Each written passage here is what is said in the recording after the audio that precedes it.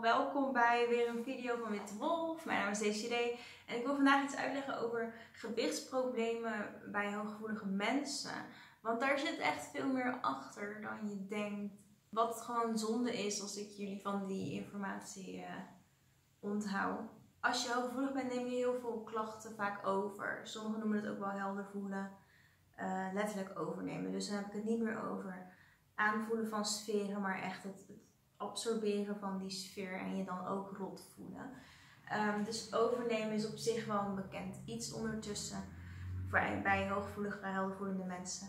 En um, je neemt dan pijnklachten over en emotionele klachten over. Dat zijn best wel bekende dingen. Dus iemands verdriet of iemands keelpijn. Uh, dat is best bekend dat je dat kunt overnemen. Wat minder bekend is, is dat je ook iemands karakter kunt overnemen. Dus je kunt dus echt van iemand heel lui worden, bijvoorbeeld. maar er zit dus ook iets bijzonders met gewicht. Uh, want je voelt het misschien al aankomen. Als je al dat soort dingen overneemt, wat is dan gewicht nog? Dat is dan, dat is dan toch geen uitzondering. Dus hoe het zit als je gewicht uh, toename meestal maar ook afvallen uh, overneemt van anderen, dan zit het zo. Je kunt letterlijk iemands uiterlijk overnemen. Moet je wel heel extreem uh, gevoelig zijn. uh, maar dat kan. Je kunt iemands eetgewoontes overnemen.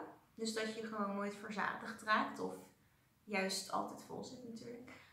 je, je kunt iemands stofwisseling overnemen. En dan voel je ook echt een harde buik. Hè, in het geval van niet kunnen afvallen, eventjes als voorbeeld. Of uh, dat je wel alles doet uh, goed volgens het boekje om af te vallen, maar het lukt niet. Dat kun je dus ook overnemen. Dus dat is nogal wat. Wat doe je eraan? Dat is natuurlijk weer niet zo samen te vatten. Dan moet je echt uh, de wereld instappen van ik wil nu gewoon omgaan met mijn hooggevoeligheid slash heldervoelendheid. En dan leer je dus langzaam maar aan te herkennen wat van jou is en wat niet. Wat je er vervolgens aan kunt doen en, van wie in je omgeving ja, je dus gewicht overneemt of juist dat je geen honger meer hebt overneemt. Uh, ja, dat zou je dan echt moeten leren met hooggevoeligheidstraining. Dat mag met mij, dat kan bij iemand anders natuurlijk. En dan positief is, kom je er ook gewoon makkelijk vanaf. Uh, hier, als een training wordt gedaan, lopen mensen met keelpijn binnen en zonder keelpijn weer weg.